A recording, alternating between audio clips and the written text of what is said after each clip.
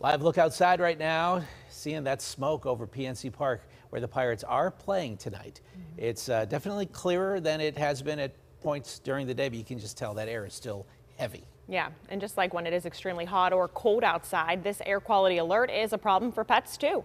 Veterinarians say we should limit their time outdoors. When you do go out, minimize the exposure, don't run with your pets, and also try wiping their muzzle, their paws, and their coat with a damp cloth when coming back inside. That'll kind of clean off any lingering pollutants.